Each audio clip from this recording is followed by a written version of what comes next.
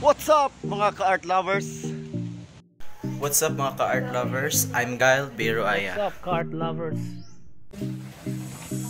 There are as many ways to define art as there are people in the universe, and each definition is influenced by the unique perspective of that person, as well as by their own personality and character. Art is highly diverse range of human activities engaged in creating visual, auditory, or perform artifacts, artworks that express the author's imaginative or technical skill and are intended to be appreciated for their beauty and emotional power. The arts are the stories of mankind. They speak to our hopes, dreams, fears, struggles, and joy. They tell the stories of our daily lives. Can you imagine kwek kwek without egg? Fried chicken without gravy or sauce? You without me, Cherries. Many artists use their art as social commentary. They present the world to us in a way which we have never been considered before, that challenges our thinking. We will present to you the painting that was done by Butuan artist and banker Ronnie Rodinas. Aside from his corporate work, as the branch head of a network bank in Butuan, Ronnie is also active in Catholic lay Apostolate in the academy and even in the radio broadcasting. He is co-founder of Quadrado Art Group and the external vice president of Agusan Artists Association. This is Hiniusa sa Gugma.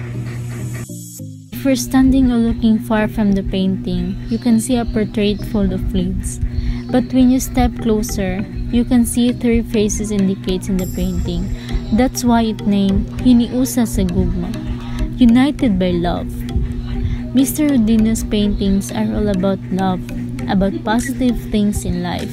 He made it with a happy heart. That's why I love the painting. Everyone actually loves it. The Hiniusang Gugma by Mr. Ronnie Rodinas had the dominance of bright green. Uh, according to Mr. Rodinas himself, he has always been a fan of the thought of mother's love.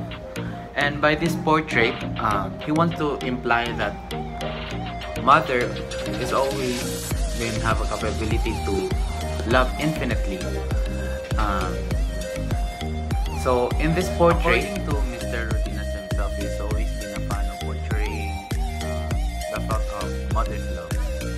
Uh, in this portrait, he want to imply a message that we should appreciate more of how our mother and mother figures of our lives love us and their efforts and their infinite infinite efforts to show and to to care for us in each and every day of our lives. These artworks have a well-developed concept and justified its use of aesthetic rather than just a pretty picture.